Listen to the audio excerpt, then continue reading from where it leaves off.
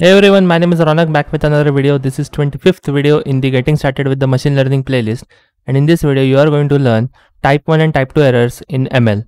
So let us get started. Right before I dive into the concept of the type 1 and type 2 error, I want to actually give you a glimpse of the prerequisite that is required for this tutorial. So it is going to require the confusion matrix which has been already covered in this playlist itself. Yet today I'll give you a small revision over it and the two main concepts from the confusion matrix that you are going to focus on is the false positives and false negatives. So assume that the actual y values is your y testing data set which has let's say three zeros consecutively. So this is a binary classification problem where you have yes and no system and you apply a machine learning model. Like it can be any model that you want. Let us say logistic regression or k nearest neighbor support vector machine decision tree random forest anyone. But what you are particularly interested in is the predicted y values. All right so the actual values is form of the dataset that i have with me. And i'm trying to predict using my model a set of few values. So what this has to do with the confusion matrix? Confusion matrix consists of four important concepts. So these are known as true positives, true negatives, false positives, false negatives. So what is true positives? So true positive is where you have the value 1 in your y and your predicted value is also 1. That is true positive. Alright, so uh, you can assume the fact that here we have 1 and here also we have 1, here we have 1, here we have 1, here we have 1, here we have 1.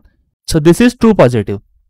Similarly, there is true negatives. So in true negatives, the actual value is 0 and the predicted value is also 0. So these two values in the first row. Then we have false positives. Now what is false positive?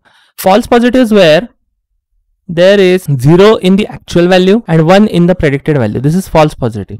And finally, we have false negative where we have 1 in the actual y value and 0 in the predicted. In the our example, we don't have that, but let us just uh, take hold of the concept itself. Now how to memorize this? Okay, so this is quite confusing for some people and uh, many people also have told me this when I actually conducted the workshops that this is very hard to memorize. So I'll just give you a gist associated with it. So check, the, so there are two thumb rules and you have to continuously and you have to just memorize these. Alright, so check if both numbers match. If so, they are true and if they don't they are false. And second thumb rule is if the predicted number is 1 it is positive and if it is 0 it is negative. Now definitely these two lines are not going to give you a glimpse of the entire picture. So for that i have an example which will help you memorize this forever. So coming back to the dataset that i have so i have some actual values and the predicted values. Now how i actually do it? Now let us just consider these first two values all right? Where we have 0 in both the places so actual is 0, predicted is 0. Okay, so actual value that I have with me is 0 and my model is also saying the value is 0. Alright, so both are zeros. So both match. So it is true. In case if they wouldn't have matched, like one of them might have been 1 and another one 0, I would have said it was false. Now second thing to remember, so this is, so this is the first thumb rule that you actually have went through. Second thumb rule, check if there is 0 or 1 in the predicted value. Now this is 0, that is why it is negative.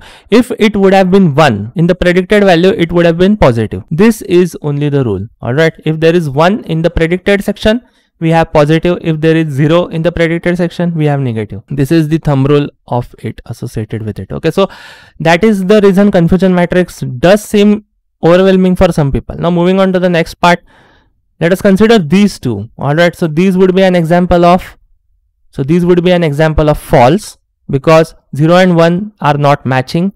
Alright, if it would have been 0 or 0 or 1 or 1, it would have been true. So this is false in the first place. And we have ones in the predicted section, both of them. So it is positive. So this is false positive. Okay, so actual is 0, predicted is 1. So this is false. Second thumb rule, we have to check the second, the predicted section. We have 1. So it is positive. Now moving on, we have actual is 1, predicted is 1. So this is true because both of them match. And now we are going to check the predicted section that is 1. So it is positive. So this is true positive. So finally, when we come across this, we don't have false uh, negatives in our example. but let us just move on. So this is how the confusion matrix looks. So in the confusion matrix, there is an actual section and a predicted section. So actual actual section is always going to have 1 and 0. You can either say it true or false or positive or negative or let's say parameters of your null hypothesis. And the upper section over here is the predicted values. Okay so this is actual this is predicted where you have positive and negative. So when there is one one that is both are matching true and the predicted is one it is true positive. When there is one and zero it is false. And after that you have positive and negative. So when there is negative you have negative. So it is zero okay so one and zero. Then you have zero and one. This is also false but it is positive. Why? Because predicted is 1 and finally you have 0 and 0 where we have true negative. So this is the way the confusion matrix is. Obviously i might have taken a different route last time but you can also use this technique if you feel comfortable. So now we are going to look at the way our confusion matrix is going to be done. So the first value that we have is true negative. So i'll enter the 1 in the true negative section after that i have false positive so in this false positive, I'll be putting 2 in the false positive section because I have two false positives. So false because 0 and 1 and 1 because it is positive. So it is false positive that is going to come over here.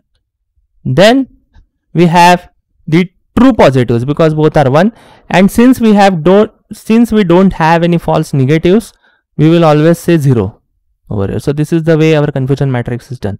Now what all of this has to do anything with let's say our type 1 and type 2 error. We will come to that.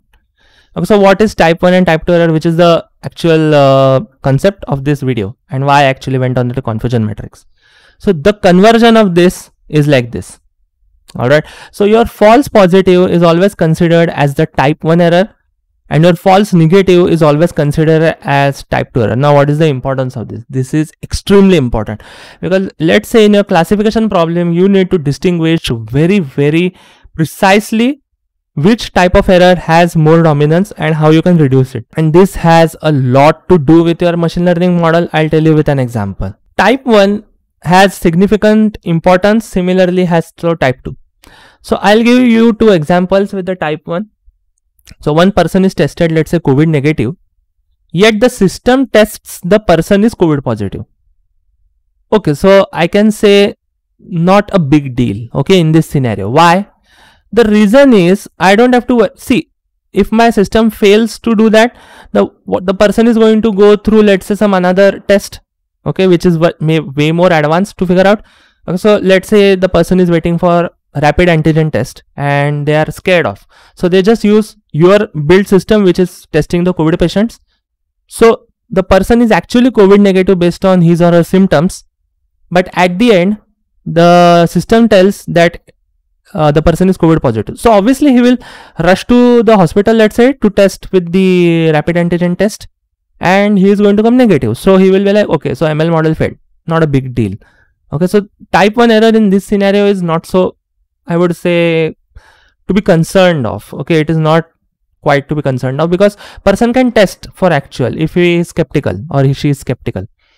Second case, person does not have a weapon in their pocket yet let's say the metal detector that we have in uh, all of the let's say public places test the person as a weapon now this can be quite risky because some security executives are going to come and frisk you and they might check, they might do a background check. Okay, so that is going to actually be time consuming. Another example of this, uh, quite important I would say, is that uh, the mail that you have currently in your inbox is not a spam. Okay, it, it is not a spam, but my machine learning model is saying it is a spam. So it is going to put an important mail in the spam folder. So this is where the problem starts. So type 1 error is very, very efficient. See, both errors hold equal importance in their ways. All right. We will actually look at them in some other videos, how we are going to tackle those. Okay.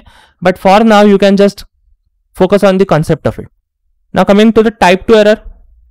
Now this one is quite dangerous. Why I would tell you.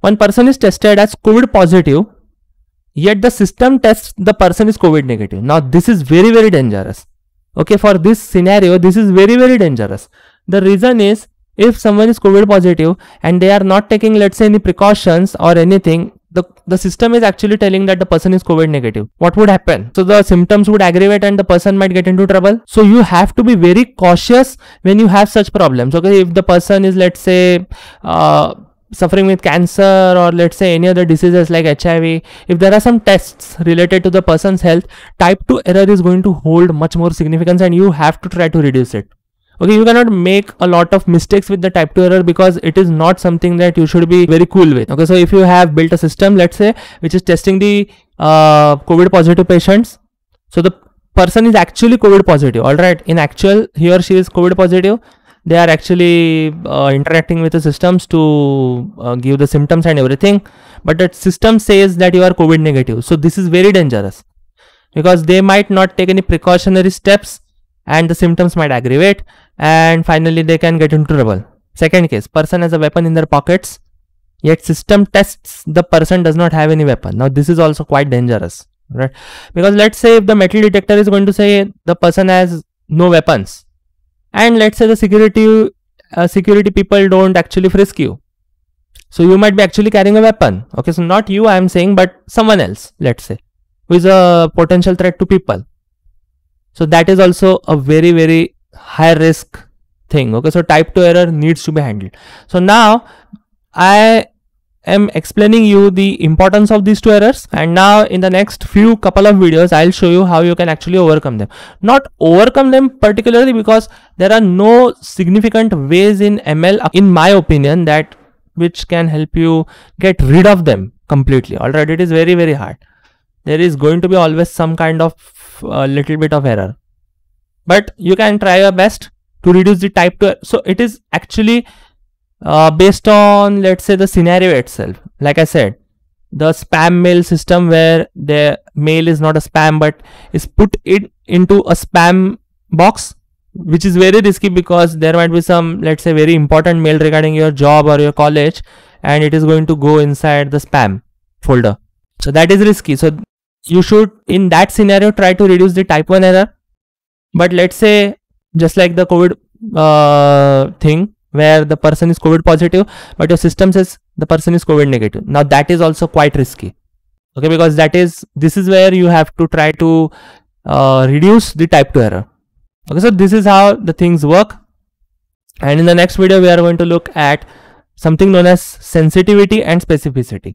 All right? So i hope you might have learned something or the other from this tutorial and if you like my content please do subscribe to my youtube channel and like this video. Alright? So thank you for watching. Goodbye